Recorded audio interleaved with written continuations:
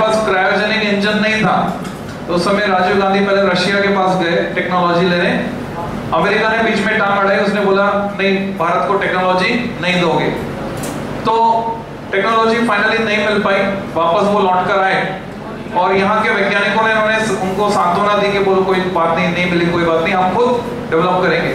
तो हमने खुद क्रायोजेनिक इंजन की टेक्नोलॉजी डेवलप की और उसके बाद ना केवल अपने हमने दूसरे के सैटेलाइट को भी हाँ लॉन्च किया। तो आर्टिकल 15.1 जो पहला फ़र्स्ट पैराग्राफ है, वहाँ से स्टार्टिंग होती है, जिसमें डेफिनेशन वो अंडरलाइन कर सकते हो तुम। Communication is the act of transmission of information तो तुमसे पूछा जाए कम्युनिकेशन क्या है? तो communication is an act of transmission of information सवाल उठता है फिजिक्स में क्यों पढ़ रहे हैं इसको?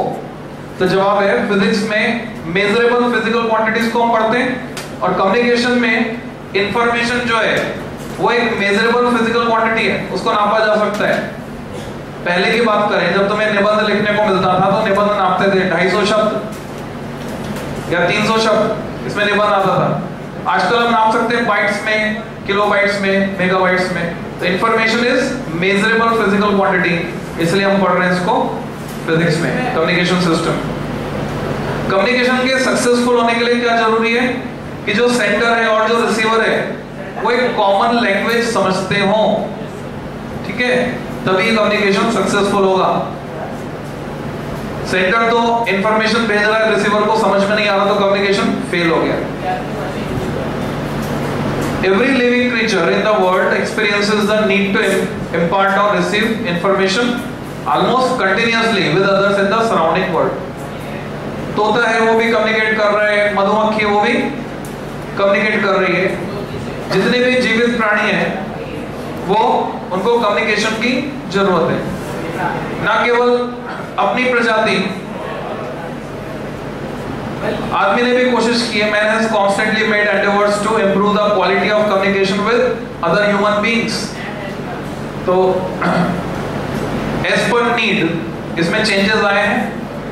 इवन अगर अंतरिक्ष में कहीं और जीवन है तो हम उनसे कम्युनिकेट करना चाहते हैं। उसके लिए हमने रेडियो टेलीस्कोप्स बनाए। रेडियो टेलीस्कोप बनाकर यहाँ से हम रेडियो वेव्स भेजते हैं सिग्नल भेजते हैं, कई फ़िल्में बनी हैं, जैसे तुमने देखी है इनको। हाँ। हम दूसरी प्रजाति के जीवों से भी कम्युनिकेट करना चाहते हैं। हम चाहते हैं कि वो हमारी बातों को समझें। इस पे भी फ़िल्में बनी हैं। Doctor Dolittle part one part two मौका मिले तो तुम देख सकते हो। And doctor Dolittle part three इसमें जो डॉक्टर दिखाया, वो जानवरों की भाषा को समझता है। और ये खाली विदेशों में नहीं। तुमने दादाजी नाना जी नानी जी इनसे कहानियाँ सुनी हो तो ऐसी कहानियाँ हुआ करती थी, हमारे बहुत प्रचलित थी, कि दो तोते पेड़ पर बैठे थे, उन्होंने देखा कि चोर आए। उन्होंने लूट का माल जो है पेड़ के नीचे गड्ढा खोद के दबा दिया। अब दो दोस्त उधर से निकले उनमें से एक दोस्त तोतों की भाषा समझता था। तो तोते आपस में बात कर रहे थे कि हाँ भाई, यहाँ पर जो है अभी चोर गड्ढे में हाँ लूट का माल दबा कर गए हैं। तो एक को पता चल गया, वो समझ गया उनकी भाषा। यानी ये बात, इसका ज़िक्र पहले के टाइम में भी आता है, भारत में भी आता है। Languages and methods used in communication have kept evolving from prehistoric to modern times to meet the growing demands in terms of speed and complexity of information. जैसे जैसे हमारी आवश्यकताएँ बदलती गई तो पहले के टाइम से, देखो, आपस में बातचीत करने की वजह फोकस करो, बहुत काम की चीज़ें तुम्हें मिलेगी तो 1G से 2G हुआ 2G से 3G technological advancement prehistoric time की बात करें तो तुम्हें पता है केव पेंटिंग्स तो इसमें ये केव पेंटिंग्स भी कम्युनिकेशन का एक ज़रिया है। उस समय के आदमी ने जो केव पेंटिंग्स बनाई, उनको आज देखकर हमें पता चलता है उस समय जीवन कैसा था। ठीक है? तो एक तरह से उन्होंने अपनी बात को कम्युनिकेट कर दिया इस युग तक। तो पुराने समय से कई अलग अलग प्राचीन भाषाएँ जिनका विकास हुआ, उनमें सबसे प्राचीन भाषा संस्कृत। संस्कृत सबसे। फिर संस्कृत के बाद हिंदी आई, हिंदी के बाद फिर उसमें कई भाषाएँ, जैसे मुगलों ने राज किया भारत पे। तो उर्दू मिल गई उसमें। उर्दू के शब्द मिल गए, फिर अंग्रेज़ों ने राज्य किया तो अंग्रेज़ी मिल गई। प्रेजेंट डे में हम जो पढ़ रहे हैं, वो ना तो इंग्लिश है, ना तो हिंदी है, ना तो उर्दू है। मिक्सचर है है ना? और एज पर डिमांड एसएमएस की जो लैंग्वेज हो चुकी है तो एसएमएस की लैंग्वेज को पुराने टाइम का कोई मतलब ये एज पर नीड है। इतनी शॉर्ट हो चुकी लैंग्वेज ये देखो बच्चे लिख रहे हैं कि हाँ ये शॉर्ट फॉर्म यूज़ कर लेंगे। तो पुराने टाइम में किसी को दिखाएँ तो वो समझ नहीं सकता, वास्तव में बातचीत क्या हो रही। तो हम कहाँ से, कहाँ तक पहुँच गए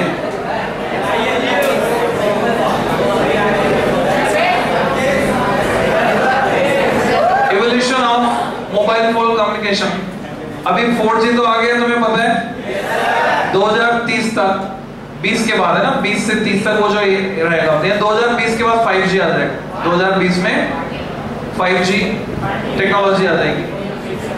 इनमें किस तरह से चेंज आया? जो 1G था, उसमें सिर्फ़ वॉइस सिग्नल्स अवेलेबल थे हमारे पास। एनालॉग सेलुलर फोन्स थे।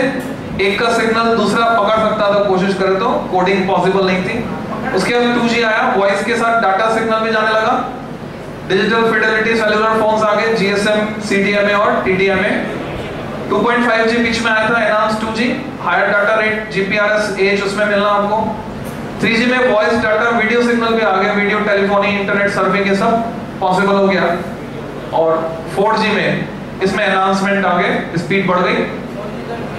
तो ये टेक्नोलॉजिकल एडवांसमेंट तो हमें देखना है मेजर माइलस्टोन्स क्या रहे। It would be worthwhile to look at the major milestones in events that promoted developments in communication ये फ़र्स्ट पैराग्राफ का एंड है। जो फ़र्स्ट पैराग्राफ है, उसकी लास्ट लाइन नहीं है। फ़र्स्ट पैराग्राफ कुछ बच्चे सेकंड पैराग्राफ का एंड देख रहे हैं फ़र्स्ट पैराग्राफ तो आर्टिकल 15.1 में दो पैराग्राफ है तो फ़र्स्ट पैराग्राफ का एंड तो मेजर माइलस्टोन्स क्या रहे, इसके लिए तुम पेज पलट के टेबल 15.1 पे जाओ। अराउंड 1565 एडी बादशाह अकबर एक जगह थे और बीर उनकी रानी जो है, जिसको बच्चा होने वाला था, बेगम, वो दूसरी जगह थी। तो बच्चा होने की खबर को अकबर तक पहुँचाने के लिए अकबर ने बीरबल को ज़िम्मेदारी सौंपी। बीरबल ने अपना दिमाग लगाते हुए उस समय सबसे तेज सिग्नल पहुँचाने की व्यवस्था की। उस समय जो अवेलेबल मेथड्स हुआ करते थे, वो क्या थे? या तो कोई दूत या हरकारा मैसेंजर घोड़े पर जाकर सूचना देता। अब घोड़ा चलता मैक्सिमम कितनी स्पीड 180 किलोमीटर प्रति घंटा मान लो चल लेता। कैलकुलेशन के आसानी के लिए ले लिया हमने। तो 180 किलोमीटर प्रति घंटा, जैसे कार दौड़ती है तो उस पर चलता तो मीटर पर सेकंड में उसकी स्पीड निकल के आती। 180 eighty into five by eighteen fifty meter पर सेकंड पर जब उसने नगाड़ा वादकों का इस्तेमाल किया, नगाड़ा वादक, पहचानो, ये रहा। बीरबल ने यह तय किया कि कितने नगाड़ा वादक बीच में बैठेंगे, पूरे डिस्टेंस को कवर करेंगे। तो एक नगाड़ा वादक अपना नगाड़ा बजाएगा तो उसकी आवाज़ कहाँ तक जाएगी? अगले नगाड़ा वादक तक मतलब जितनी दूर तक जाएगी। अब नगाड़ा जो है, उसको मान सकते हैं it is point source point source is intensity proportional 1 upon r square तो कुछ दूरी तक जाकर धीमी पड़ जाएगी, वहाँ दूसरे को बिठा दिया, उसने इधर से सुना, अपना नगाड़ा बजा दिया, आवाज़, आगे चली गई। इस तरह से पूरा signal almost speed of sound से ट्रांसमिट हो गया। फिर तुमने लॉर्ड ऑफ़ द रिंग्स ये फ़िल्में अगर देखी है तो एक पहाड़ पे आग जलाई, उसको देखकर दूसरे पहाड़ पे आग जलाई तो ऑलमोस्ट सिग्नल ट्रांसमिट हो रहा है स्पीड ऑफ़ लाइट से। तो इतना फास्ट तो ये उस टाइम का फास्टेस्ट मोड था। और बीरबल ने बीरबल से पहले यहाँ पर ये ज़िक्र आता है फैंटम वेदाल की जो कहानियाँ हैं, या बीरबल के बाद हुई हो तो पता नहीं। तो जंगली कबीले हुआ करते थे फैंटम जहाँ पे राज्य करता था, या फैंटम की कहानियाँ जो है उसमें दिखाते हैं, बिगड़ वन है पांडार बोने हैं तो उनके कबीले होते थे। और कबीलों में संदेश बोलते थे, जंगल में आग की तरह फैलता था। वो जो उधर तुम देख रहे हो ऑफ़ सेट में वो एक बाज़ार है, नगाड़ा। ना पूरी टीम होती थी, नगाड़ा वादकों की। और ये ट्रेंड ट्रेंड टीम होती थी और वो अलग अलग तरह से नगाड़ा बजाकर डिफरेंट सिग्नल्स को ट्रांसमिट कर देते थे। तो कोडेड वे में सिग्नल पूरा फैल जाता था, ये पुराना तरीका था। इसके अलावा उस समय जो प्रचलित तरीके थे, कबूतर बाज, है ना? इनके पंजों में बाँध देते थे, छोटी सी डिब्बी, उसमें चिट्ठी रख देते थे। तो ये मेथड हुआ करते थे कम्युनिकेशन के। इसके बाद इसमें चेंज आया? इनका जो फ़िज़िकल ट्रैवल था, इन सबको आराम मिला। उसकी जगह ले ली तार ने। यानी इन्वेंशन हो गया टेलीग्राफ का। टेलीग्राफ बोलो टेलीग्राम इससे जाया करता था। टेलीप्रिंटर कह सकते हैं। तो सैमुअल एफ़ बी मोर्स जो कि सेना के जनरल रहे उन्होंने तो कोड डेवलप किए जिनको बोलते हैं मोर्स कोड उसके अलावा चार्ल्स वीडस्टोन वही वीडस्टोन ब्रिज वाले। इन्होंने मेथड निकाला मेंटेनेंस के लिए। अगर कहीं आधे तूफ़ान में तार टूट के गिर गया है, क्योंकि सारा ट्रांसमिशन किससे होगा? एक इलेक्ट्रोमैग्नेट होगा। इलेक्ट्रोमैग्नेट का स्विच है ये। ये इलेक्ट्रोमैग्नेट नहीं है, क्या है? स्विच है। मान लो, कोटा से बूंदी टेलीग्राम भेजना है तो मेरे पास यहाँ पर स्विच है, उसका इलेक्ट्रोमैग्नेट बूंदी में है। टू वे कम्युनिकेशन चाहिए, बूंदी से सिग्नल यहाँ भेजना है तो बूंदी में स्विच है और उसका इलेक्ट्रोमैग्नेट कोटा में है। अब हमारे पास वायर्ड लाइन से पहले के टाइम में खंभों पे तार लगे होते थे, दस, बारह इतने तार होते थे। अभी आजकल देखोगे सब भग्नावशेष खत्म हो गए सब। क्योंकि सब कुछ वायरलेस हो गया। पहले वायर्स के थ्रू होता था, इन तारों पे चिड़िया बैठती थी आराम से। ये मशीन होती थी इनिशियल लेवल पे एलिमेंट्री लेवल पर। टेलीग्राफ के लिए मशीन इसमें तुम देख रहे हो पेपर का एक रोलर है। तो मैंने क्या किया, यहाँ से स्विच को ऑन जैसे मैं स्विच ऑन करूँगा वहाँ जो इलेक्ट्रोमैग्नेट लगा हुआ है, उसमें जो मैकेनिकल आर्म है, वो नीचे होगी इलेक्ट्रोमैग्नेटिक अट्रैक्शन से उसमें एक पेन लगा हुआ है पेन नीचे जाएगा। पेन जाके कांटेक्ट बनाएगा इसके साथ पेपर के साथ। रोलर घूम रहा है, कागज़ चल रहा है। अगर मैंने थोड़ी सी देर के लिए स्विच ऑन करके ऑफ़ कर दिया तो डॉट प्रिंट होगा। ज़्यादा देर ऑन रखा तो डैश प्रिंट होगा।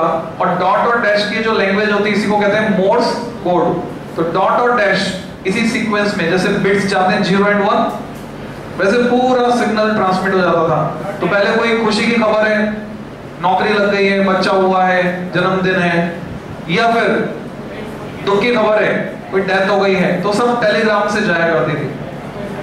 तो लोकल लेवल पर फिर डाकिया वहाँ दौड़ता था आसपास के डाकघर से और बाकी एक डाकघर से दूसरे डाकघर तक ये सिग्नल किससे जाता था? टेलीग्राफ के थ्रू जाता था। तो मैसेंजर का फ़िज़िकल ट्रैवल कम हो गया। तो ये एक मेजर माइलस्टोन रहा। इसके बाद नेक्स्ट मेथड जो आया 1876 में टेलीफोन का आविष्कार किया अलेक्जेंडर ग्राम बेल ने। टेलीफोन अब तक का ऐसा आविष्कार जो आज भी काम आ रहा है हमारे उस समय जो आविष्कार हुआ, वो आज भी प्रासंगिक बना हुआ है। यूजफुल है हमारे लिए। लैंडलाइन टेलीफोन हालाँकि और जो दूसरे आविष्कार हुए, वो सब यूजलेस हो गए। जैसे cassette player record player VCD floppy disk ये सब क्या हो गया? टाइम के साथ ऑब्सलीट पर इनसे सबसे पहले का ये आविष्कार टेलीफोन लैंडलाइन टेलीफोन आज भी हम यूज़ कर रहे हैं। तो एलेक्जेंडर ग्राहम बेल को सम्मान देने के लिए उनके नाम पर बेल लेबोरेटरीज की स्थापना की गई लंदन में। वहाँ आज भी कई काम होते हैं, आज भी कई इन्वेंशन होते हैं। तो ये अलेक्जेंडर ग्राम बेल अपनी टीम के साथ और ये उन्होंने जो टेलीफोन इन्वेंट किया था, वो। टेलीफोन के इन्वेंशन के साथ हमारे सामाजिक जीवन में परिवर्तन आना शुरू हुआ। जो हम चिट्ठियाँ लिखा करते थे, वो कम होती चली गई। चिट्ठी लिखना लगभग बंद सा हो गया, टेलीफोन का इस्तेमाल बढ़ता गया। उसके बाद 1895 में जेसी बोस मार्कोनी इन्होंने वायरलेस टेलीग्राफी इन्वेंट कर दी। पहला transmission successful transmission public demonstration Marconi ने दिया। कम्युनिकेट किया without using wires across the Atlantic up to few kilometres तो इससे क्या फ़ायदा हुआ? एक मेजर डिसएडवांटेज था वायर वाले कम्युनिकेशन में। तार कहीं पे आधी तूफ़ान में टूट गया तो मेंटेनेंस बहुत भारी पड़ता था। हालाँकि हमने एपरेटस बनाया, कौन सा? पीओ बॉक्स जो कि किस पर बेस्ड है? व्हीटस्टोन ब्रिज पर। उससे हम पोस्ट ऑफ़िस में बैठे बैठे पता लगा लेते थे कि तार कितनी दूरी पर टूटा है। क्योंकि जो वायर लगाया उसका हमें रेजिस्टेंस पर यूनिट लेंथ पता है। और अननोन रेजिस्टेंस ये मानते हुए कि तार जहाँ से टूट के गिरा अर्थ पे, अर्थ इज़ गुड कंडक्टर तो कांटेक्ट में आ गया। तो हम उस तार का रेजिस्टेंस निकाल लेते थे। अब तुम्हें रेजिस्टेंस भी पता है और रेजिस्टेंस पर यूनिट लेंथ भी पता है तो लेंथ पता चल जाएगी। तो वेरीफाई करके दोनों पोस्ट ऑफ़िस से पता लगा लेते थे। ये मार्कोनी, अपने रेडियो के साथ? मार्कोनी ने जो ट्रांसमिशन किए he sent 10000 across the Atlantic. उस समय की खबर छपी थी, उस समय न्यूज़पेपर में जेसी बोस जगदीश चंद्र बसु। उसके बाद मेजर माइलस्टोन रहा। टेलीविज़न का इन्वेंशन हुआ 1936 में। ये फ्रांसीसी वैज्ञानिक थे जॉन लोगी बेयर्ड बेयर्ड जिन्होंने टेलीविज़न का आविष्कार किया। और पहला ब्रॉडकास्ट बीबीसी ने किया British broadcasting corporation full form आनी चाहिए तुम्हें। BBC London British broadcasting corporation किताब में लिखी हुई है और वैसे भी तुम जानते होंगे। तो साथ में ये भी जानो कि जो टीवी बनाया इन्होंने एक्चुअल में हम पढ़ते हैं necessity is the mother of invention क्या ज़रूरत थी? भारत में क्यों नहीं बना दिया हमने? जिस टेक्नोलॉजी को इन्होंने यूज़ करके टीवी बनाया इलेक्ट्रॉन एमिशन की टेक्निक इलेक्ट्रॉन को कंट्रोल करना। ये टेक्नोलॉजी भारत में हम 17 सेंचुरी में जानते थे। और इन्होंने कब बनाया टीवी? 19 19वीं शताब्दी में 200 साल बाद। तुमने सुना भी हो तो हमारे पास योग वाली टेक्नोलॉजी भी थी। महाभारत काल में संजय ने युद्ध का सारा हाल धृतराष्ट्र को सुनाया था। वो एक तरह का टेलीविज़न था। मैकेनिकल या फ़िज़िकल नहीं था, इलेक्ट्रिकल नहीं था। कैसा था? अध्यात्म वाला योगिक। और उसको बाद में हमने भौतिक में कन्वर्ट किया 200 साल। भारत में टेक्नोलॉजी जब थी उसके 200 साल बाद। महाभारत तो और बहुत पहले हुआ था तो भारत में क्यों नहीं बनाया? और फ्रांस ने क्यों बनाया? फ्रांस में उस समय गुलाम बना के रखने की प्रथा थी। एक धनाढ़ वर्ग था, एक गरीब वर्ग था। लोगों को गुलाम बनाकर रखा जाता था बैरकों में। और इस बात की ज़रूरत महसूस की गई कि ये गुलाम जो है खाली समय में अपनी क्रांति करके आज़ादी के बारे में ना सोचें। भाई देखो, किसी को भी अगर तुम बंद करके रखोगे, चाहे वो पक्षी हो, तुम भले उसको बहुत अच्छा खिलाओ, पिलाओ, बहुत अच्छा ट्रीटमेंट दो।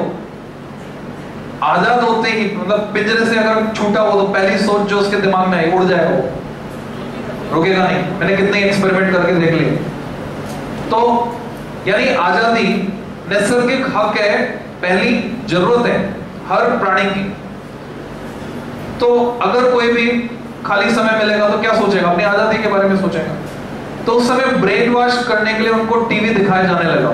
टीवी बनवाया गया मशीन ये उस समय इन्वेंशन करते रहते थे तो इनको पैसा दिया गया और बोला गया, ऐसी एक मशीन बना दो, जिससे कि खाली समय में इनका ब्रेन वॉश पॉसिबल हो।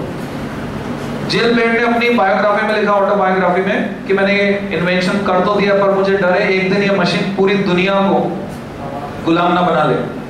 ये स्टेटमेंट है उनके। और आज उनका डर सही साबित हुआ है। जब हम एक ही विज्ञापन को बार बार देखते हैं, तंदुरुस्ती की रक्षा करता है लाइफ बॉय लाइफ बॉय है जहाँ तंदुरुस्ती है वहाँ। तो अब लाइफ बॉय जो है, घोड़ों को निलाने के काम आता है विदेश में। है ना? घोड़ों के लिए साबुन होता है। कार्बोलिक सॉप अब वो यहाँ पे भारत में विज्ञापन कर करके उन्होंने बेवकूफ़ बना के यहाँ पे बेचा विज्ञापन की मदद से। तो जितनी भी मल्टीनेशनल्स हैं बॉर्नविटा नहीं खाओगे तो इंजीनियर नहीं बन सकते डिओड्रेंट नहीं लगाओगे तो पसीने की बदबू आएगी। अब तुम विश्वास करो, जब मैं तुम्हारे बराबर था तो डिओड्रेंट जैसी चीज़ कोई जानता ही था। मार्केट में इस नाम की कोई चीज़ मिलती नहीं थी। उसके बाद भी हमारे पास से बदबू नहीं आती थी क्योंकि नहाया करते थे। बिना लाइफ बॉय के, तंदुरुस्त भी थे लाइफ बॉय आने से पहले। पर उसके बाद विज्ञापन कर करके तो ये हमारे ब्रेन वॉश के काम आ रहा है। तो ये जो टीवी है, तुम्हें इसका इस्तेमाल बड़ा सोच समझ के करना है, चालाकी के साथ। वो चालाक है, तुम अपनी चालाकी दिखाओ। तुम क्या करो? प्रोग्राम्स को रिकॉर्ड कर लो। वो क्या कर रहे हैं? आधे से ज़्यादा टाइम में विज्ञापन दिखा रहे हैं। तुम्हारे दिमाग में बढ़ते जा रहे बढ़ते जा रहे बार बार दिखाएँगे तो इच्छा होती है खरीद लो। तो अच्छा अभी मैं लेटेस्ट खबर बताऊँ आज की खबर। अमिताभ बच्चन, शाहरुख खान और एक और सेलिब्रिटी ये धोनी एम एस धोनी, इन सबको पाबंद कर दिया गया, कोर्ट ने पाबंद कर दिया है कि किसी शीतल पेय का विज्ञापन नहीं कर सकते। नहीं करेंगे। रीजन सॉफ्ट ड्रिंक्स का। ये तो विज्ञापन कर देते हैं और निकल लेते हैं वहाँ से, खुद नहीं पीते हैं। इतने बेवकूफ़ नहीं है। और इनको देख देख के हज़ारों करोड़ों लोग भारत की जनता उसका इस्तेमाल करती है। और ये प्रूव्ड फैक्ट है कि जितने भी सॉफ्ट ड्रिंक्स हैं, वो सब हार्मफुल है हमारी हेल्थ के लिए। तो अभी इन पे रोक लगाई गई है ये विज्ञापन नहीं कर सकते इनका। तो हमें सावधानी से इस्तेमाल करना है। तुम क्या करो रिकॉर्डिंग वाला ऑप्शन लो, जो सेट टॉप बॉक्स है सारे प्रोग्राम रिकॉर्ड कर लो जो भी तुम्हें देखने हैं, जो तुम्हारे काम के हैं, उसमें से छांट लो।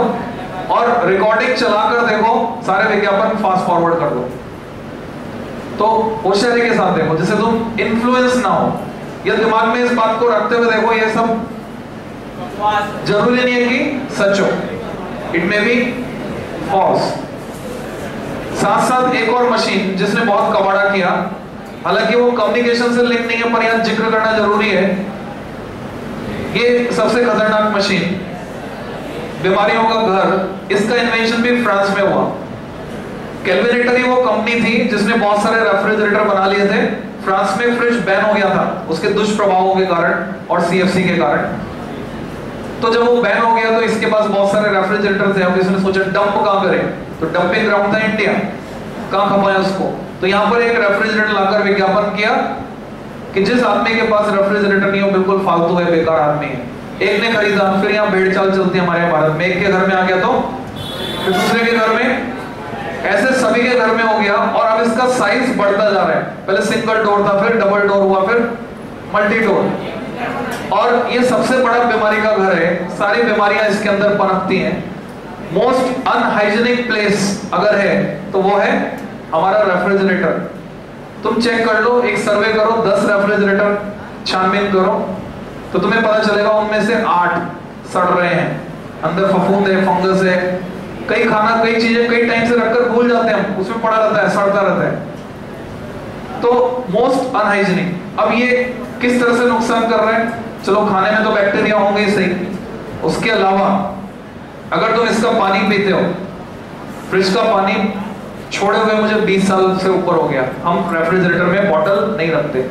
रीजन फ्रिज का पानी, जो ठंडा पानी हम पीते हैं, इससे कॉन्स्टिपेशन होता है और कॉन्स्टिपेशन आयुर्वेद में सारी बीमारियों की जड़ माना जाता है।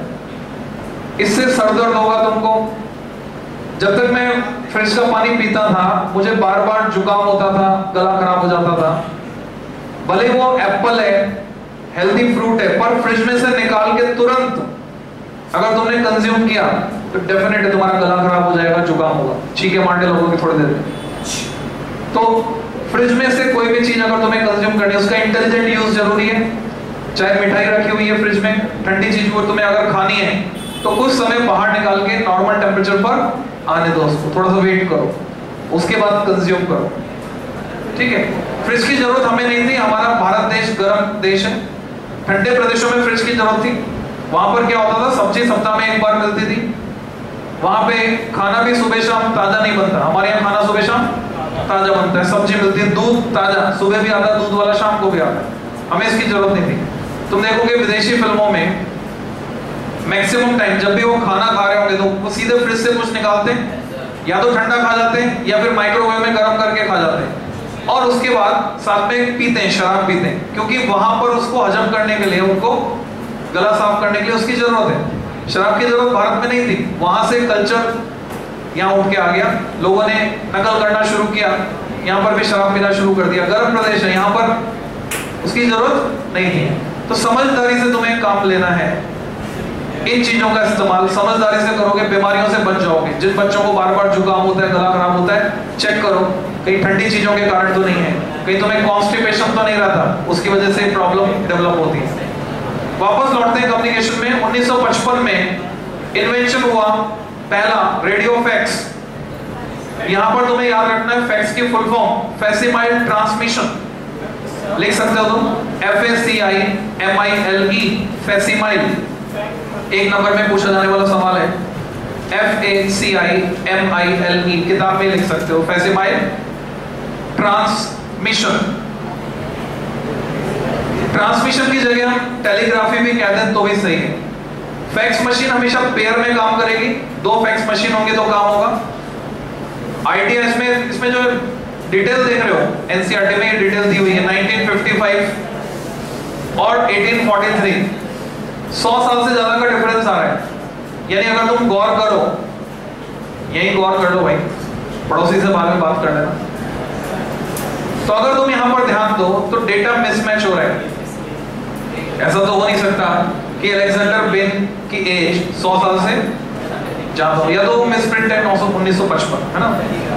मस्ट बी मिसप्रिंटेड तो एक्चुअल में 1930 में उसने शुरू किया था, उस पर काम करना।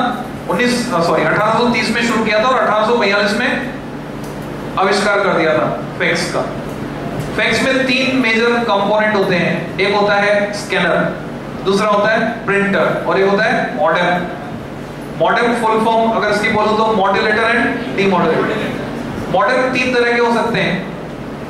सबसे पहले जो आता था, वो होता था सिंप्लेक्स सिंप्लेक्स मॉडर्न सिर्फ़ या तो ट्रांसमिट कर सकता था या तो रिसीव कोई एक काम कर सकता था. फिर आया half duplex half duplex at a time या तो ट्रांसमिट कर सकता है तो रिसीव कर सकता है वॉकी टॉकी की तरह काम करता है। वॉकी टॉकी में क्या होता है? एक बार में एक ही जना बोल सकता है। वो अपनी बात खत्म करता है, बोलता है ओवर बटन छोड़ता है। दूसरी तरफ़ वाला जिसको बोलना है, वो अपने वॉकी टॉकी सेट का बटन दबाता है। वो अपनी बात पूरी करता है, वो बोलता है ओवर बटन छोड़ता है। एक बार में एक जना। मिलिट्री में आज भी वॉकी टॉकी का इस्तेमाल हो रहा है। हम चाहते तो टू वे कम्युनिकेशन कर सकते थे बट नहीं किया बिकॉज़ वॉकी टॉकी का मेजर एडवांटेज है उस पर लड़ाई या बहस होने की कोई संभावना नहीं है, क्योंकि एक समय में सिर्फ़ एक जना बोल रहे अगर तुम कहीं पर घर में भी ऐसे सिचुएशन से बचना चाहते हो तो ये सबसे सिंपल सा एग्जांपल इससे तुम समझ सकते हो। जब भी बहस हो रही है जना चुप हो जाए तो बहस वहीं खत्म हो जाएगी। हमारी जो विधानसभा, लोकसभा है, वहाँ पर इस चीज़ को लागू होना चाहिए कि एक बार जब कोई बोल रहा है तो दूसरा हाँ सिर्फ़ सुन सकता है। उन सबके माइक ऑफ़ हो जाने चाहिए। तो वास्तव में कुछ काम वहाँ पर हो पाएगा तो इसको बोलते हैं सिंप्लेक्स के बाद हाफ़ ड्यूप्लेक्स ये हाफ़ ड्यूप्लेक्स मोड है। फिर आ गया फुल ड्यूप्लेक्स तो फुल ड्यूप्लेक्स में क्या है? टेलीफोन साइमल्टेनियसली अपलोडिंग भी हो रही है डाउनलोडिंग इधर वाला भी बोल रहा है, उधर वाला भी बोल रहा है। तो आजकल जितने भी मॉडल लगे हुए डिवाइसेस में, कैसे हैं? फुल ड्यूप्लेक्स अपलोड भी कर सकते हैं साइमल्टेनियसली और डाउनलोड भी कर सकते हैं। अब मान लो, तुम्हें अपनी मार्कशीट तुम्हारे होम टाउन में भेजनी है। तो उसके लिए तुम्हें क्या करना पड़ेगा? फैक्स फैक्स से इलेक्ट्रॉनिकली एक डॉक्यूमेंट को रिप्रोड्यूस किया जा सकता है, ऐसा का ऐसा दूसरी जगह? तो तुम अपनी मार्कशीट की फोटोकॉपी करवाओगे। कई बार तुम्हारे सवाल आता है दिमाग में फोटोकॉपी क्यों करवा रहे डायरेक्ट मार्कशीट क्यों नहीं यूज़ कर स्कैनिंग के लिए? तो ज़्यादातर जो फैक्स मशीन है, पुरानी वाली तो ऐसी होती थी। फैक्स मशीन अभी नई वाली है एलेक्जेंडर पेन है, और ये फैक्स मशीन नई वाली इस तरह की होती है। इसमें पेपर घूम कर निकलता तब स्कैन होता है। अगर मार्कशीट ओरिजिनल उसमें डाल दें, फंस गई कहीं पे, फट जाएगी नुकसान हो जाएगा। इसलिए क्या करते हैं, पहले फ़ोटो कॉपी कराते हैं, फिर फ़ोटो कॉपी को उसमें स्कैन करते हैं। लाइन बाय लाइन वो स्कैन होती है। उसके कोड बनते हैं digital code bit stream zero one की बिट स्ट्रीम कोडिंग हो गई पूरे, वो कोड बनने के बाद, ये सिग्नल जो है, वो डिजिटल नेचर का है। हमारी टेलीफोन लाइंस पुराने समय में एनालॉग सिग्नल हैंडल करने के लिए डिज़ाइन थी। तो मॉडेम का काम आता है। मॉडेम इस डिजिटल कोड को कन्वर्ट करता है एनालॉग सिग्नल में। अब इस एनालॉग सिग्नल को भेज दिया जाता है तुम्हारे होम टाउन तक। वहाँ पर फैक्स मशीन उसको रिसीव करती है। रिसीव करके उसमें लगा हुआ मॉडेम उस एनालॉग को वापस डिजिटल में बदलता है। डिजिटल में कन्वर्ट करके प्रिंटर को देता है और प्रिंटर्स को प्रिंट कर देता है। तो में से जो भी एमपी बोर्ड के बच्चे हैं फैक्ट्स पे क्वेश्चन एमपी बोर्ड में सबसे ज़्यादा पूछा जाता है। उनको अच्छे से फैक्स को डिटेल में तैयार करना है। बाकी बोर्ड के बच्चों को सिर्फ़ फुल फॉर्म तैयार करनी है। ट्रांसमिशन फैक्ट्स के बाद, अगला जो डेवलपमेंट हुआ 1968 1968 में अड़सठ में आ गया अर्पानेट जेसीआर लिंक इनको जाता है इसका श्रेय। ये पहला इंटरनेट था और इसके थ्रू ये पॉसिबल हो पाया यूएस डिफेंस डिपार्टमेंट का प्रोजेक्ट था। एक कंप्यूटर से दूसरे कंप्यूटर में हम फ़ाइल ट्रांसफ़र कर पाए। 1968 में कितना एक्साइटिंग रहा होगा सोच के देखो। आज भी जब तुम एक मोबाइल से दूसरे मोबाइल पहली बार कोई गाना ट्रांसफ़र कर लेते हो तो तुम्हें बहुत एक्साइटमेंट होता है। अच्छा भाई वाह गाना शिफ्ट हो गया। उस समय 1968 में फ़ाइल ट्रांसफ़र करना बहुत एक्साइटिंग रहा था। तो अर्पानेट आया ये मेजर माइलस्टोन रहा। ये जेसीआर लिंकलेटर अपने अर्पानेट के साथ। 1975 में बेल लेबोरेटरीज लंदन ने धमाका किया। ऑप्टिकल फाइबर केबल डिज़ाइन कर दी। फाइबर ऑप्टिक्स रे ऑप्टिक्स में तुम इसके बारे में पढ़ोगे? ये काम करता है टी आई आर पे टोटल इंटरनल रिफ्लेक्शन इसका कंपैरिजन किया जाता है। हमारे जो केबल्स हैं वायर लाइंस उनसे कंपेयर करते हैं। तो वायर लाइंस के कंपैरिजन में बहुत एडवांटेजेस है। रीजन वायर लाइन पे तो क्या होता है तुम देखते हो, आए दिन आंकड़े डाल के चोरी कर लेते हैं बिजली। केबल शुरू में आया आया था तो क्या करते थे? केबल कनेक्शन लेने के बजाय उसके तार में कट लगा के तार जोड़ लेते थे, ना सिग्नल चुरा लेते। पर सिग्नल जब ऑप्टिकल फॉर्म में जाएगा लाइट के फॉर्म में जाएगा तो इसको चुराना आसान नहीं है। लोकल चोर नहीं चुरा सकते, क्योंकि काटेंगे ऑप्टिकल फाइबर को उसमें से लाइट निकलेगी उसको यूज़ करने के लिए सोफिस्टिकेटेड इंस्ट्रूमेंट चाहिए, महँगे हैं, आसानी से अवेलेबल नहीं है। इंटरनेशनल चोर चुराते हैं समुद्र के अंदर जो ऑप्टिकल फाइबर केबल जा रही है, उसमें पिक्चरों में तुम देखते हो लिंक लगा के बैंक का डेटा चुरा लेते हैं। Optical fibre cable at present हम यूज़ कर रहे हैं बैंकिंग सेक्टर में डिफेंस सेक्टर में। और सिग्नल कम्युनिकेशन के लिए कई जगह हमने टेलीफोन लाइंस को रिप्लेस कर दिया ऑप्टिकल फाइबर केबल से। रीजन एक टर्म यूज़ करने जा रहा हूँ जिसको आगे समझाऊँगा। बैंडविड्थ बहुत ज़्यादा मिलती है। बैंडविड्थ को ऐसा समझ सकते हो कि 3G से ज़्यादा बैंडविड्थ 4G में 2G से ज़्यादा 3G में तो ऑप्टिकल फाइबर में बैंडविड्थ ज़्यादा मिलती है, उसको ऐसे समझो। पहले जब केबल सिस्टम एनालॉग हुआ करता था टीवी में पीछे तुम एक तार लगाते थे कोएक्सियल केबल जिससे सिग्नल आते थे। 200 250 चैनल आ जाते थे उसी एक तार से। कोएक्सियल केबल बाहर mesh wire single core wire actual में, अभी इस चैप्टर में तुम डेटा जब पढ़ोगे तो डेटा पढ़ोगे तो तुम्हें पता चलेगा एट दी मोस्ट ठीक ठीक अगर सिग्नल ट्रांसमिट हो रहा है, अच्छे से आ रहा है। तो 125 से ज़्यादा सिग्नल, चैनल, उसके थ्रू ट्रांसमिट नहीं हो सकते। जैसे फॉर एग्जांपल एक डीवीडी में चार पिक्चर भी आती, एक डीवीडी में तीन भी आती और एक डीवीडी में एक पिक्चर भी आती। डिफरेंस किसमें आता है? Quality sound quality and picture quality तो वो डिटोरेट होकर आ रहे थे। सोच के देखो, अगर 500 चैनल हो जाएँगे तो भी उसी तार से आते रहेंगे क्या? जवाब है नहीं। अब तो खैर डिजिटाइजेशन हो गया। सिर्फ़ एक चैनल उसमें से उठाना होता है। तो एक तार काफ़ी है।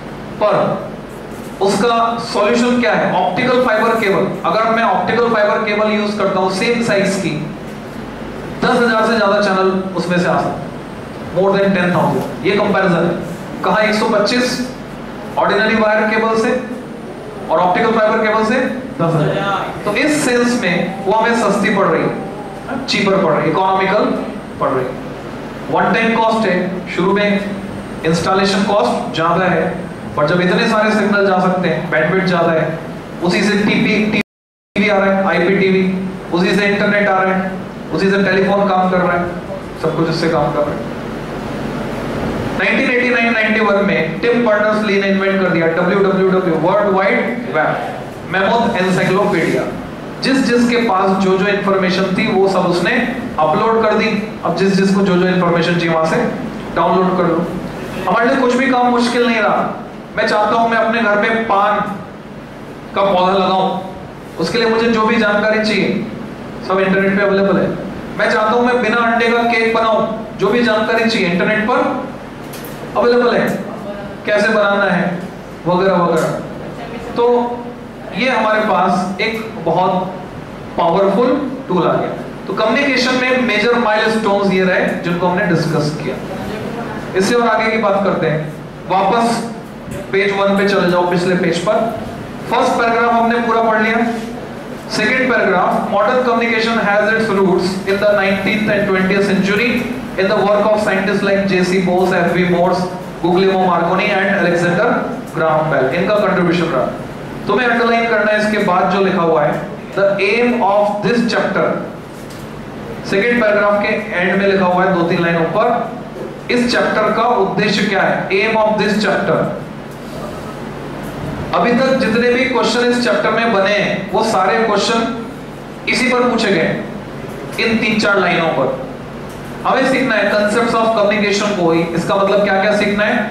मोड ऑफ़ कम्युनिकेशन तो इसमें तुम सीखते हो, पढ़ते हो there are two mode of communication basic mode of communication एक होता है पॉइंट टू पॉइंट दूसरा होता है ब्रॉडकास्ट फॉर एग्ज़ाम्पल तुम मुझसे आकर बात करते हो प्रॉब्लम काउंटर पर तो इंटरेक्शन होगा वन टू वन एक जना बोलने वाला, एक जना सुनने वाला।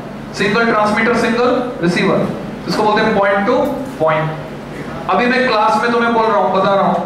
तो सिंगल ट्रांसमीटर मल्टीपल रिसीवर इसको बोलेंगे ब्रॉडकास्ट तो रेडियो में क्या होती है? ब्रॉडकास्टिंग टेलीविज़न में क्या होती है? ब्रॉडकास्टिंग रेडियो टेलीविज़न दोनों वन वे हैं. वन वे कम्युनिकेशन हालाँकि रिसेंटली अखबार में खबर छपी थी, लगभग एक सप्ताह पहले, कि भारत के किसी व्यक्ति ने रेडियो में टू वे कम्युनिकेशन उसको पेटेंट कराया अभी। उसने नई टेक्नोलॉजी निकाली है कि रेडियो के through two way communication possible होगा। यानी रेडियो स्टेशन से तुम सुनने के बाद टेलीफोन पे फीडबैक देने की बजाय डायरेक्ट उसी रेडियो का इस्तेमाल करके क्या कर सकते हो? फीडबैक दे सकते हो। नीड फॉर मॉड्यूलेशन हम पढ़ने वाले तीन नंबर का क्वेश्चन बनता है। तीन फैक्टर को हम डिस्क्राइब करते हैं। मॉड्यूलेशन होता क्या? उसकी ज़रूरत क्या है? तो हमें समझना है मॉड्यूलेशन होता क्या है? मान लो, मुझे यहाँ से स्टेशन तक जाना है तो स्टेशन तक मैं पैदल पैदल नहीं जा सकता। मैं ऑटो लूँगा ऑटो में बैठूँगा, जब मैं ऑटो में बैठूँगा तो स्लाइड चेंजेस होंगे, उसके टायर थोड़े दबेंगे सीट दबेगी। ऑटो जब स्टेशन पहुँच जाएगा, मैं ऑटो से उतर जाऊँगा। सिमिलरली मैं जो बोल रहा हूँ, मैं चाहता हूँ तुम तक पहुँचे। आवाज़ पहुँच रही माइक लगा के बोल रहा हूँ। मैं चाहता हूँ पूरा मोहल्ला मेरी आवाज़ सुने लाउड स्पीकर लगा दूँगा। मैं चाहता हूँ स्टेशन तक मेरी आवाज़ जाए। अब लाउड स्पीकर से काम नहीं चलेगा, मुझे करना पड़ेगा। Radio broadcasting. तो मेरी जो आवाज़ है, उसमें इतनी एनर्जी नहीं है कि वो स्टेशन तक जा सके। इसकी फ्रीक्वेंसी कितनी है? मैं जो बोल रहा हूँ वॉइस सिग्नल 20 से 20 किलोहर्ट्ज। इसमें इतनी एनर्जी नहीं है। Energy is associated with frequency E equal to h nu तो अब मैं क्या करूँगा? मैं एक हाई फ्रीक्वेंसी वेव चुनूँगा, जैसे ऑटो अब हाई फ्रीक्वेंसी वेव के साथ ये जो ऑडियो सिग्नल है वॉइस सिग्नल इसको सुपर इंपोज कर दूँगा। मैं ऑटो में बैठ गया। तो ये जो सुपर इंपोज करने का प्रोसेस है, इसको हम कहते हैं मॉड्यूलेशन अब जब मैं ये सुपर इंपोज करूँगा तो वो जो कैरियर वेव नाम देते हैं उसको, जो वेव लेकर जा रही है हाई फ्रीक्वेंसी वेव उसको क्या बोलेंगे? कैरियर तो उसकी या तो फ्रीक्वेंसी चेंज हो जाएगी। अगर फ्रीक्वेंसी चेंज होगी तो बोलेंगे एफएम फ्रीक्वेंसी मॉड्यूलेशन या तो एम्पलीट्यूड चेंज हो जाएगा। जैसे मैं ऑटो में बैठा तो सीट दबी टायर दबे। चेंज हुआ। ऑटो नीचे झुका थोड़ा सा अगर एम्पलीट्यूड चेंज होगा तो बोलेंगे एम्पलीट्यूड मॉड्यूलेशन अगर फ़ेज़ चेंज होगी तो बोलेंगे फ़ेज़ मॉड्यूलेशन ये टर्मिनोलॉजी हम यूज़ करेंगे। फिर जब वेव पहुँच गई डेस्टिनेशन तक, अब स्टेशन पे जो भी मेरी आवाज़ को सुनना चाहता है, उसको चाहिए एक रिसीवर रेडियो वो रेडियो की मदद से क्या करेगा? कैरियर वेव को और ओरिजिनल वॉइस सिग्नल को सेपरेट कर लेगा। वो जो सेपरेट करने का प्रोसेस है, उसको क्या बोलेंगे? डीमॉड्यूलेशन तो डीमॉड्यूलेशन हो गया वॉइस सिग्नल सेपरेट हो गया, उसको सुन लेगा स्पीकर की मदद से। तो हम सीखेंगे नीड फॉर मॉड्यूलेशन इसमें तीन फैक्टर आएँगे। एंटेना का साइज़ एक होता है साइज़ एक होती है हाइट हाइट ऑफ़ एंटेना उसको अलग से समझेंगे। यहाँ फैक्टर आएगा साइज़ ऑफ़ एंटेना दूसरा क्या फैक्टर आएगा? कुछ भी नहीं लिखना है, सब पढ़ेंगे हम सुन लो खाली ऐसे फैमिलियरिटी बढ़ाने के लिए। दूसरा फैक्टर आएगा problem of overlapping signal overlap हो जाते हैं। अगर हम लो फ्रीक्वेंसी पे ट्रांसमिशन करते हैं ऐसे तीसरा फैक्टर आएगा power radiated by antenna antenna जो पावर रेडिएट कर रहा है, हम चाहते हैं वो बढ़ जाए। ऐसे सुन लो, समझ में कुछ नहीं आएगा अभी, आगे आएगा। तो हमें नीड फॉर मॉड्यूलेशन में पढ़ना है। फिर हमें फुल डिटेल में पढ़ना है production and deduction of amplitude modulation frequency modulation introductory level तक, खाली। हमें डिस्टिंग्विश करना आना चाहिए what is the difference between AM and FM वो सीखना है हमको। और फ़ेज़ मॉडुलेशन हमारे सिलेबस में बिल्कुल नहीं है, उसको छोड़ना है। ठीक है, वो तैयार नहीं करना तो एम्पलीट्यूड मॉडुलेशन को फुल डिटेल में पढ़ने वाले हैं। नेक्स्ट आर्टिकल आता है 15.2 elements of a communication system चाहे कम्युनिकेशन सिस्टम का नेचर कुछ भी हो इररिस्पेक्टिव ऑफ़ नेचर हर कम्युनिकेशन सिस्टम में तीन एसेंशियल एलिमेंट हैं, जिनके नाम है ट्रांसमीटर दूसरा है मीडियम या चैनल और तीसरा है रिसीवर मैं एट प्रेजेंट इसको यूज़ कर रहा हूँ। मेरे पास ये जो डिब्बी लगी हुई काली वाली ट्रांसमीटर है, वो लकड़ी के डब्बे में जो रखा हुआ डब्बा, वो रिसीवर है। तो मैं ये पूरा डायग्राम तुम्हें समझा रहा हूँ, इसमें सारे ब्लॉक डायग्राम्स हैं इस चैप्टर में। और इनकी पूरी गाइडलाइन छाप कर तुमको दे दी क्या क्या प्रिपेयर करना है। ये डायग्राम तुम्हें प्रिपेयर करना है, उसमें लिखा हुआ है ऑलरेडी एक नंबर में पूछा जाता है। डायरेक्टली पूरा डायग्राम नहीं तो किसी डब्बे में, जैसे ट्रांसमीटर लिखा हुआ उस डब्बे में। ट्रांसमीटर मिटा के लिख देंगे एक्स रिसीवर मिटा के लिख देंगे वाई तुमसे बोलेंगे एक्स और वाई को पहचानो, क्या है? उनके नाम बताने का, आधा नंबर ट्रांसमीटर बताने का, आधा नंबर रिसीवर बताने का। इस तरह से क्वेश्चन माँगता है। तो इस डायग्राम को समझो लिंक करो। मैं हूँ इंफॉर्मेशन सोर्स मैंने इंफॉर्मेशन किसको प्रोवाइड की? ट्रांसमीटर को। विद हेल्प ऑफ़ एक डिवाइस है, जिसका नाम है ट्रांसड्यूसर इसके बारे में पढ़ेंगे यह इलेक्ट्रिकल ट्रांसड्यूसर ये क्या कर रहा है? वॉइस सिग्नल को किसमें कन्वर्ट कर रहा है? इलेक्ट्रिकल कंडेंसर माइक है यहाँ पे। एक कैपेसिटर है टाइप ऑफ़ कैपेसिटर तो अब ये इंफॉर्मेशन ट्रांसमीटर ने ट्रांसमिट कर दी ट्रांसमिटेबल फॉर्म में प्रॉपर फॉर्म में कन्वर्ट करके। और वो इंफॉर्मेशन ये जो बीच का मीडियम है, पहले के टाइम में तो मैं बताऊँ तो मंदिरों में जो मोपू लगते थे लाउड स्पीकर तो तार वाला माइक होता था? पहले के प्रोग्राम्स में वो यूज़ करते थे। अब ये वायरलेस है। अगर तार है तो उसको भी बोलेंगे मीडियम या चैनल और तार नहीं है वायरलेस है तो भी बोलेंगे मीडियम या चैनल जो फ़िज़िकल स्पेस है। अब जब इसके थ्रू ये सिग्नल जा रहा है तो इसमें नॉइज़ इंट्रोड्यूस होने के चांसेस है। अनवांटेड सिग्नल डिस्टरबेंस आने के, जैसे ये। इसके चालू होते ही ये आवाज़ भी माइक पे से होकर स्पीकर में आ रही है। ये तो ये एक्सटर्नल नॉइज़ इंटरनल नॉइज़ भी हो सकती है। मान लो अंदर कैपेसिटर कोई फॉल्ट कर रहा है।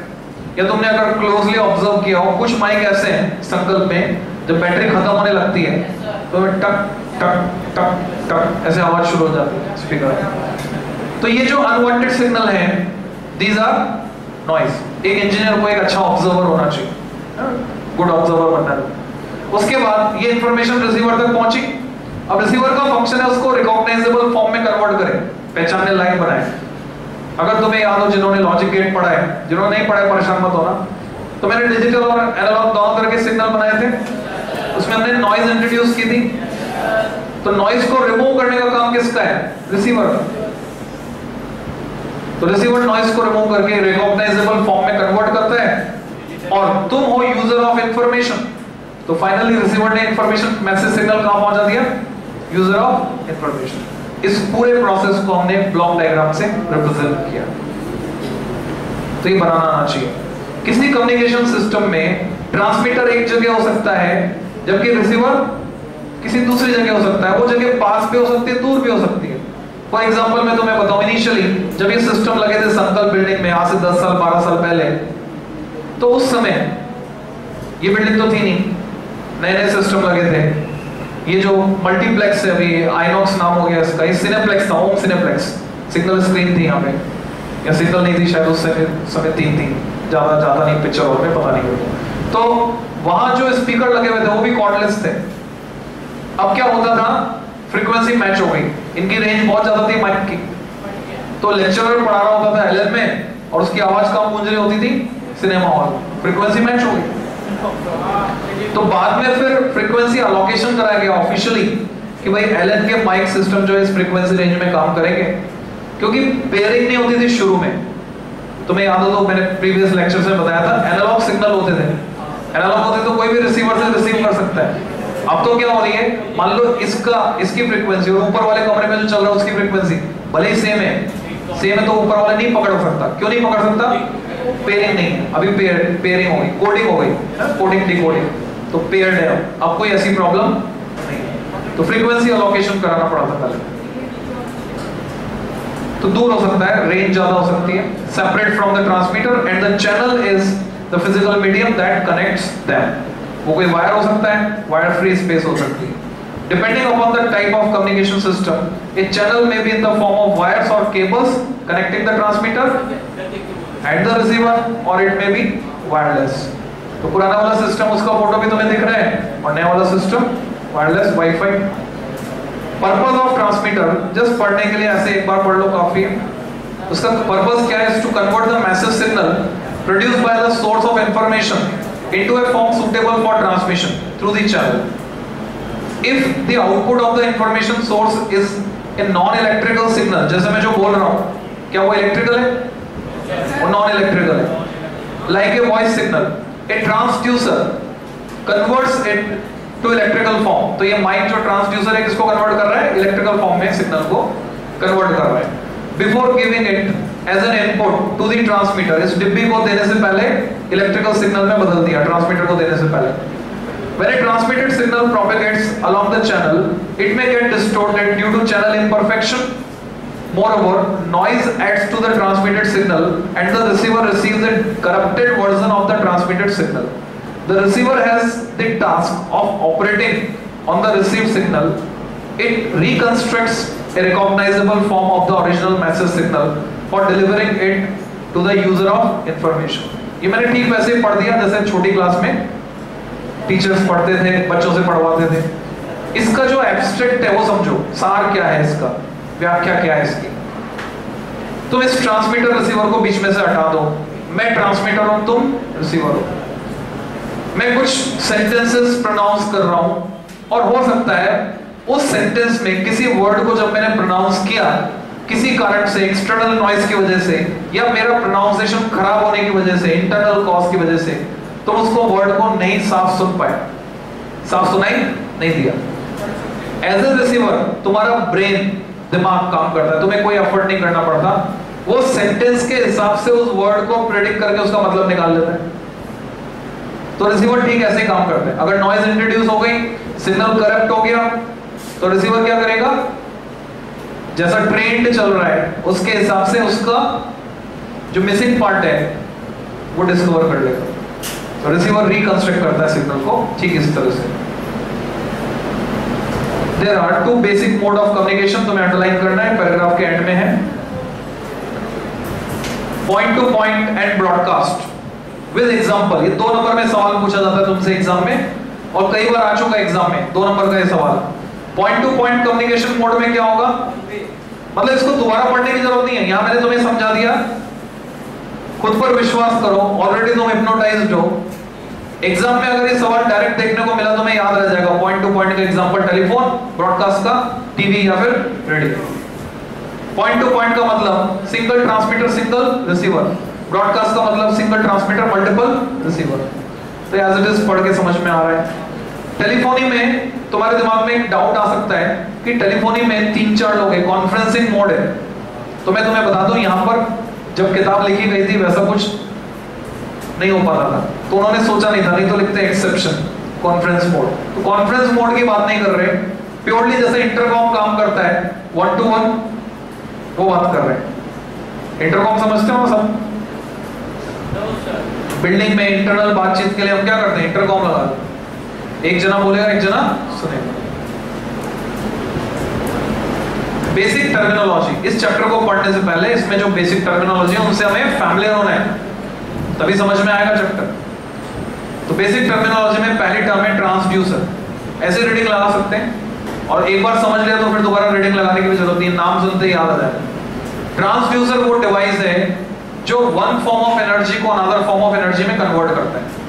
और अगर मैंने बोला इलेक्ट्रिकल ट्रांसड्यूसर तो जो इलेक्ट्रिकल एनर्जी में कन्वर्ट करता है, उसको बोलते हैं इलेक्ट्रिकल ट्रांसड्यूसर तो ये इलेक्ट्रिकल ट्रांसड्यूसर इलेक्ट्रिकल एनर्जी में कन्वर्ट कर रहा है। स्पीकर इलेक्ट्रिकल ट्रांसड्यूसर है क्या? स्पीकर जो है इलेक्ट्रिकल एनर्जी को साउंड एनर्जी में कन्वर्ट कर रहा है। ट्रांसड्यूसर तो है, इलेक्ट्रिकल ट्रांसड्यूसर नहीं है। क्या थर्मामीटर एक ट्रांसड्यूसर है? तुमसे क्वेश्चन पूछा जाता है कंपटीशन में। क्या थर्मामीटर ट्रांसड्यूसर है? जवाब है, क्योंकि थर्मल एनर्जी को कन्वर्ट कर रहा है potential energy of mercury column mercury column raise होगा तो पोटेंशियल एनर्जी बढ़ेगी। तो थर्मामीटर इज़ ए ट्रांसड्यूसर तो different different form of energy को अलग अलग फॉर्म में कन्वर्ट करने वाले। तो फ़िज़िकल वेरिएबल क्या क्या हो सकते हैं? Pressure displacement force temperature etcetera दूसरा जो अगली टर्म तुम्हें समझनी है सिग्नल जो भी इंफॉर्मेशन कन्वर्ट कर रहे हैं इलेक्ट्रिकल फॉर्म में, और ट्रांसमिशन के लिए सुटेबल है, उसको बोलते हैं सिग्नल सिग्नल दो तरह के हो सकते हैं, या तो एनालॉग या फिर डिजिटल अगर कंटिन्यूस वेरिएशन है तो एनालॉग है, और डिस्क्रीट वेरिएशन है तो डिजिटल ये सभी सिंगल वैल्यूड फ़ंक्शन होते हैं. टाइम एक टाइम पर सिर्फ़ एक ही वैल्यू अटेन कर सकते हैं. एक से ज़्यादा अटेन नहीं कर सकते. Sine wave fundamental analogue signal example है. तो जितने भी और दूसरे एनालॉग सिग्नल हैं, उनको हम डिवाइड कर सकते हैं उनके साइनोसॉइडल कंपोनेंट्स की फॉर्म में. जैसे मैं जो बोल रहा हूँ, मेरी आवाज़ भी कैसी है? एसी अल्टरनेटिव नेचर की. इसमें कई साइनोसॉइड्स हैं, कई हार्मोनिक्स हैं, कई ओवरटोन्स हैं. हम चाहें तो सुपरपोजिशन का रिज़ल्ट बनाकर इसको प्लॉट कर सकते हैं। तुम जब इंजीनियरिंग में आगे जाओगे तो तुम यूज़ करोगे सीआरओ कैथोड रे ऑसिलोस्कोप। उसमें तुम बोलोगे तो वो वेवफॉर्म बनेंगे। वो सब क्या है? Superimposition of various sinusoids. फिर इस किताब में लिखा हुआ है sound and picture signals in TV are analogue in nature ठीक है, जब किताब लिखी गई थी, ऐसा ही था, ये सही था। पर, अब ये सही नहीं है तो इसमें जोड़ दो। Analogue as well as digital. आज के टाइम में ये सब डिजिटल हो गए टीवी के सिग्नल। एनालॉग नहीं रहे पहले ऐसा होता था कि आवाज़ आती थी एफएम से फ्रीक्वेंसी मॉड्यूलेशन होकर, और पिक्चर आती थी एएम से एम्पलीट्यूड मॉड्यूलेशन के थ्रू अब सब डिजिटल प्रोसेसिंग के थ्रू आ रहे हैं। इसमें तुम्हें जो तैयार करना है डिजिटल के बारे में बता दिया। डिजिटल में दो ही लेवल होते हैं zero corresponds to low and one corresponds to high voltage या करंट तुम्हें दो शॉर्ट फॉर्म के फुल फॉर्म तैयार करनी है। उनमें एक है बीसीडी बाइनरी कोडेड डेसिमल दूसरी है एएससी आई ये दो फॉर्म्स तुमको तैयार करनी है। ACII American standard code for information interchange ये बोलते हैं। American standard code for information interchange कितने लोग फैमिलियर है ACII कोड से? कंप्यूटर में काम आता है। मान लो, पीछे चलते हैं 92 से 95 के बीच। विंडो नहीं आया था। एमएस डॉस तो एमएस डॉस ऑपरेटिंग सिस्टम में अगर काम कर रहे हैं पेपर टाइप कर रहे हैं तो वर्ड स्टार सेवन ये लास्ट वर्जन था उसका वर्ड स्टार में टाइप करते थे अब वो वाली फ़ाइल अगर मुझे अभी वर्ड में खोलनी है एमएस वर्ड में खोलनी है तो डायरेक्ट ओपन नहीं होगी। क्या करना पड़ेगा पहले? वर्ड स्टार में जाके उसको ओपन करके, उसको कन्वर्ट करना पड़ेगा ए S C I I code में। उसमें ऑप्शन होता था। प्रिंटिंग का ऑप्शन दो। बहुत सारे ऑप्शन आते थे, उसमें एक होता था ए एस सी आई आई जब तुमने उसकी A S C I I code वाली फ़ाइल बना दी, अब उस फ़ाइल को तुम एम एस वर्ड में खोलते हो तो वो खुल जाएगी। यानी जो मशीन लैंग्वेज हम बोलते हैं कंप्यूटर में, वैसी कोई एक लैंग्वेज इंफॉर्मेशन इंटरचेंज की। तो काफ़ी आज के लिए। नेक्स्ट रन पे कंटिन्यू करेंगे। कितने लोग चाहते हैं प्रोजेक्टर यूज़ करो? वो हाथ ऊपर करें। यूज़ करो? ओके